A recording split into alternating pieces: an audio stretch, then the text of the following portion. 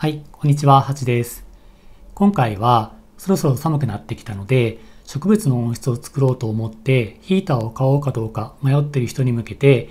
僕の1年間使っているこの昭和世紀産のパネルヒーター SPZ250 のレビューをしたいと思います。こちらのパネルヒーターは植物の温室用ヒーターとしては最もメジャーな商品だと思います。非常にいい商品なんですが、金額自体が1万円以上するので迷っている人もいるかなと思います。そんな方に向けて動画を作っていきたいなと思っています。最初に結論を言ってしまうと、このパネルヒーターはすごくおすすめです。で、僕も満足して使っていますし、迷っていたら買って損はないかなと思っています。また、この商品はワット数ごとに 150W、200W、250W の製品があります。もしワット数で悩んでいる人は大きいワット数を購入することをお勧めします。大きいサイズをお勧めする理由は製品の寿命と大は小を兼ねるの考え方、あとは売った時の金額などがあります。詳しくは動画の後半に Q&A のコーナーがあるのでそちらを見てください。あとですね、今回の動画を作るにあたって事前に視聴者の方からパネルヒーターについての質問を受け付けたのでそれに関してもお答えしたいと思います。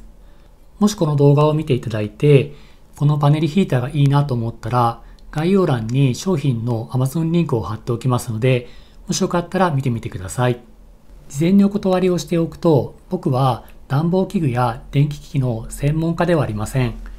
個人の植物愛好家として、そしてパネルヒーターの一利用者として使ってみた感想をお伝えする動画となりますので、ご了承いただければと思います。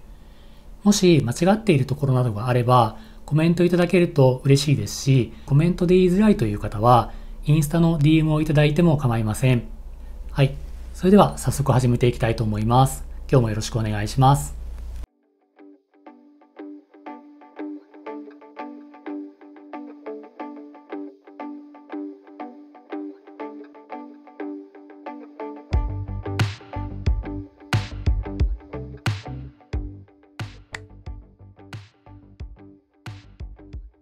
はい。まず最初にどんな製品なのか全体を見ていきたいと思います。僕が購入したのはこの 250W のパネルヒーターと温度調整をするグリーンサーモのセットです。まずこのパネルヒーターについてです。この金属の板を電気で温めることによって温室内の空気を温めて温度を上げるという仕組みになっています。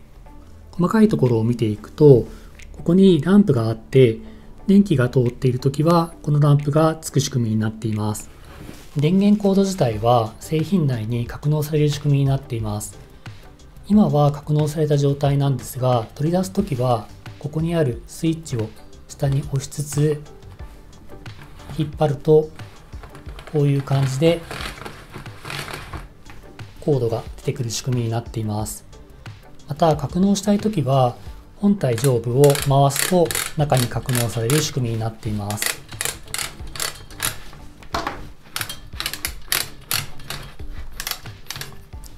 こんな感じですね。コードを巻き取ることができるのですごく便利です。続いては温度調整をするグリーンサーモです。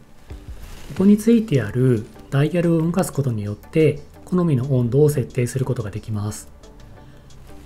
実際に温度を感じるのはこの金属の棒の部分のようです。この金属の部分はこういう風に取り外すことができます。これを伸ばした場合の使い方としてはこういった形で土に刺して土の中の温度を測るっていうような使い方ができるようです。ただしここにも書いてある通りこのバネになっている部分を長く伸ばして使うことは想定してないようです。実際は植物の温室管理をする上ではこれを伸ばして測る意味もあまりないかなと思うのでここに挿して使うことが多いかなと思います。続いて各ワット数ごとのスペックの紹介です。一番小さい 150W の適合温室サイズは高さが120センチ幅が85センチ奥行きが44センチのようです。200W の製品は高さが150センチ、幅が85センチ、奥行きが45センチです。一番ワット数が大きいこの250ワットは高さが150センチ、幅が89センチ、奥行きが49センチとなっています。ただし適合する音質のサイズは音質を置く環境によっても変わるのであくまで参考程度と考えてください。次にグリーンサーモの設定温度なんですが5度から45度まで設定可能です。植物を管理する上では十分な温度かなと思います。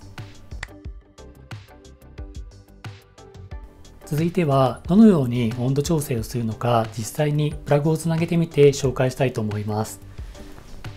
まずここに電源用のタップがあります。ここにサーモヒーターの電源コードをつなげます。で、さらに、この部分に電源を差し込むところがあるので、ここにヒーター本体の電源コードを差し込みます。差し込むと、今ここにランプがついたのがわかると思うんですけど、今この状態は電源が入って、徐々にパネルが暖かくなってきている状態です。サーモヒーターは先ほどのこの金属の部分で温度を感知しているのでここで感知した温度がこの設定している温度より低ければパネルヒーターに電気を通してパネルを温め温室内を温めるという仕組みになっています。また温室内の温度が設定温度に達すればこの部分の電気を切断してパネルヒーターを止めるという仕組みになっています。今ですねもうすでに温度が上がってきていてちょっと手では触れないぐらいの暑さになってきてます。さらにこのパネルヒーターを増設することも可能です。パネルヒーターの電源が刺さっている部分を抜いて僕は持ってないんですけどこの部分に二股に分かれる電源タップを差し込みます。その両方にパネルヒーターの電源コードを差し込むことによってパネルヒーターを増やすことができます。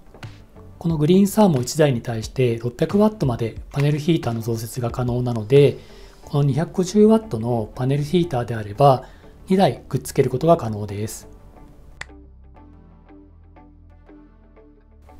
続いては温室に設置した状態で実際使う時の注意点を説明したいと思います。今ですねうちの温室の中にもうパネルヒーターとあとグリーンサーモン設置した状態です。で、左下にパネルヒーターで、えー、右の上の方にグリーンサーモがついている状態ですね。で、設置するポイントとしては、グリーンサーモとパネルヒーターをこういった形で対角線上に設置することです。で対角線上に設置する理由なんですけど、まずパネルの真上にグリーンサーモを設置してしまうと、パネルから温まった空気が上に立ち上っていって、その熱を感知したグリーンサーモが早い段階でパネルヒーターの電源を落としてしまいます。そうしてしまうと温度が上がりきらない状態になります。また、このパネルヒーターとグリーンサーモを同じ高さに置いた場合なんですが、この場合は基本的に暖かい空気というのは上の方に溜まっていくので、下の方は冷たい空気になります。そうすると上の方だけは暖かくて下は冷たいっていう状態になるのでさっきとは逆で温度が上がりすぎるようになってしまいます。なので設置する際はパネルヒーターとグリーンサーモを対角線上に設置するように注意してください。続いて温度設定の方法です。グリーンサーモの上部のところにマークがついているのでこのマークに合わせた温度でグリーンサーモが働きます。今この状態だと、え、35度に設置された状態ですね。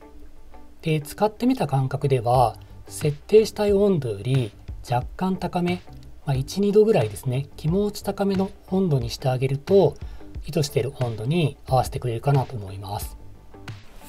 ちなみに僕の温室スペースはメタルラックの1段目だけを温室にしています。で、サイズは高さが80センチ、幅が90センチ、奥行きが45センチです。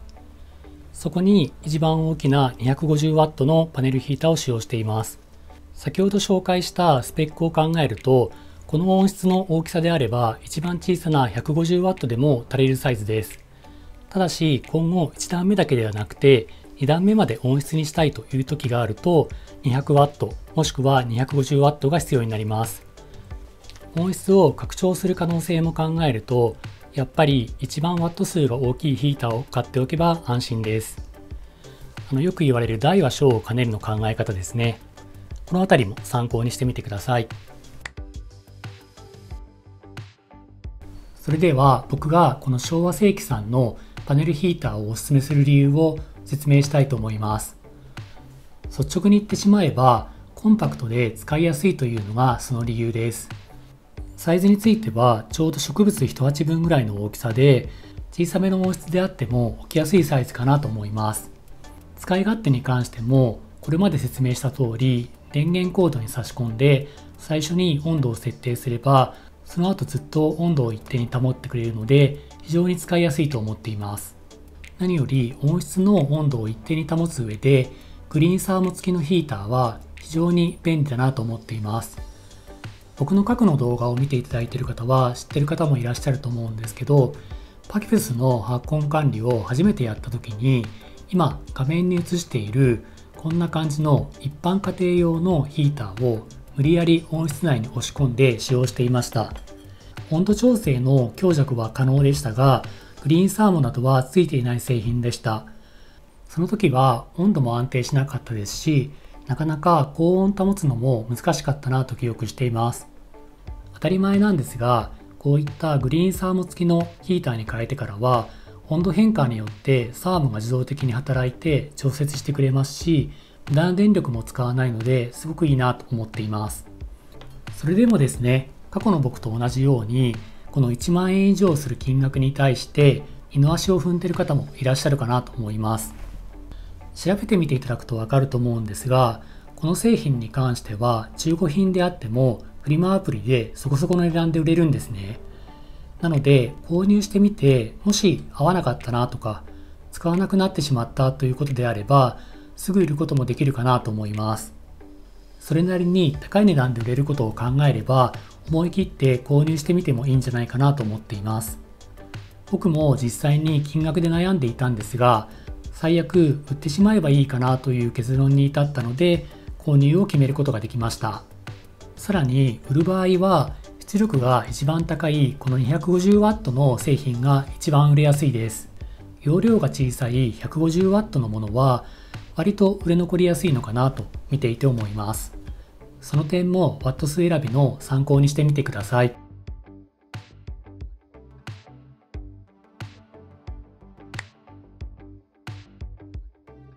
はい。ここからは視聴者の方にあらかじめパネルヒーターについて疑問に思っていることをインスタの DM で募集したので、それに関して回答したいと思います。今回割と気まぐれで質問を募集してみたんですけど、10件以上ぐらいかな、あの、回答をいただきまして、あの、非常に驚いてます。回答いただいた方、本当にありがとうございました。はい。じゃあまずですね、えー、一番多かった質問からお答えしたいと思います。え、ヒーターの出力が何ワットのものを買えばいいかわからない、その自分の音質に対してどれくらいの出力のものを買えばいいかわからない、まあ、これが一番質問としては多かったですね。でこの昭和世紀さんのパネルヒーターに関しても 150W、200W、僕の持ってる 250W まで3種類あります。でその中でどれを買えばいいかっていうところで、えー、回答させていただくと、えー、結論一番ワット数が大きい 250W これをお勧めします。理由は3つあるんですけど1つ目の理由はワット数が大きい方がヒーターの寿命が長くなるからです。これどういうことかというとこのヒーター自体に温度調整の機能はないんですね。温度が下がってくればサーモンがそれを感知して、えー、電気をヒーターに通す。で温度が上がる。で温度が達すると電気が止まるでまた下がってくるとまた電気を通しての繰り返しで温度調整はしてるんですね。なのでヒーターのワット数が高いっていうことは早く温室内を温めることができます。ということはヒーターの稼働時間が短くなります。その分ヒーターの寿命を長くすることが可能です。理由の2つ目は実際の使い方のところでもお話したんですが温室の容量に対して大きいワット数のヒーターを購入しておけば例えば温室をより拡大したいなっていう風になった時に対応が可能です。ワット数が倍になっても値段が倍になるわけではないので大きい方を買っておいても損はないかなと思っています。理由の3つ目はおすすめする理由のところでも話したんですがもしこれが不要になった場合はフリマアプリでそこそこの値段で売ることができます。その際に出力が高い 250W が一番売れやすいです。値段が妥当であれば即売れるかなと思ってます。逆に一番容量が小さい 150W のものは結構売れ残りやすいかなと思っています。以上ですね。寿命が長持ちするで音質を拡張しても対応できる売る時に買い手がつきやすいこの3つの理由がワット数が大きい製品をお勧めする理由です。はい。質問2つ目ですね、えー、これも多かったんですが実際電気代ってどんぐらいかかるのっていう質問ですはい、えー、これですねあのー、計測するにはワットチェッカーっていうその専門の機械が必要なんですよ。で、それ僕持ってなかったので、え買いました。はい。あの、質問たくさん来たので、買いましたよ。はい。えー、なので、ちょっと別撮りで用意してあるので、ご覧ください。どうぞ。はい。それでは、今回質問の多かった電気代に関して、今回は3日間検証したので、その結果を報告したいと思います。で、今回検証に使用したのは、これですね。エコチェッカーという機械で、これはパネルヒーターと電源タップの間に挟むことで、消費電力や電気料金っていうのを計測する機械です。これを使用して計測してみました。それでは今回の計測条件を説明したいと思います。まずパネルヒーターなんですが、この 250W のタイプを35度に設定して、丸3日間、なので72時間稼働させて計測してみました。で設置した温室の広さは高さが80センチ横幅が90センチで奥行きが45センチのものです温室自体は作った時の動画を出してるんですがこういった一般的なスチールラックにホームセンターで購入したこういったプチプチをかぶせている簡易的なものになります。で四隅をこういう風に空気が漏れないようにガムテープで一応留めてはあります。でただここのところ見ていただくと分かると思うんですけど、えー、ここがですね温室の底に当たるところですね。でそこのところにもプチプチを引いてあるんですけどこの前方のところにかぶせているビニールシートっていうのはのれんのようにかけているだけなのでもう全然こういう形で特に密封はされてない状態ですねなので前面に流れてきた空気はこの隙間からどんどん下に落ちていってしまっているのかなと思っています。まあ、見ていただいた通り手作りの温室なのであんまり気密性はないかなと思っています。で、この温室を設置している室内なんですが、昼は28度、夜は24度までと、あまり室温が下がらない環境かなと思っています。はい。こんな環境で今回は計測してみました。この環境下で3日間計測した結果なんですが、6.57kWh の電気が消費されてました。で、これを電気料金に換算すると177.3円になります。で、この計算にはちょっと長いんですが、全国家庭電気製品公正取引協議会という団体があって、そこが定めている 1kWh あたり27円というのを基準にしています。3日間で177.3円なので30日間に換算すると1773円これがこの環境下で計測した1ヶ月間の電気料金となりましたでこの1773円という金額なんですが皆さんどう感じますかね？で僕は率直に言ってそこそこかかってしまってるなっていうふうに思いました、ま単純に12ヶ月で考えた場合に1年間で2万円以上電気代で消費していることになるので、うん、そうですね、もう少し抑えられたらいいのかなと思ってます。この温室自体も先ほど説明した通りあまり機密性が高いものとは言えないので音質をもう少しちゃんとしたものに変えれば電気料金が浮くんじゃないかなと思ったりもしてます。今回の検証では1ヶ月間のパネルヒーターの電気料金は1773円となりました。もちろん皆さんの環境や音質の作りあとは電気料金の契約プランによってこの金額は変わると思いますが参考にしていただければいいかなと思いますはい以上が電気代についての回答でしたはい、続いての質問です。未生1年目のパキポデュームの冬管理に、え、ヒーターは必要でしょうか、えー、先日の動画とても参考にさせていただきました。ありがとうございます。はい、これに関しての回答は、えー、未生1年目っていうことなんですが、えー、春巻きであればある程度成長しているはずなので、えー、室内に入れて仮に寒かった場合でも休眠して春を迎えられると思うので、え、特に心配する必要はありません。で、え、まあ、室内が暖かったらそれはそれで問題ないです。で、逆に夏くらいに巻いたものだと休眠させると危ないので最低温度が20度を切ってしまうようであれば温室を作ってあげてこういったヒーターで加温が必要なんじゃないかっていうふうに回答をさせていただきましたはい続いては室内管理にも必要ですか？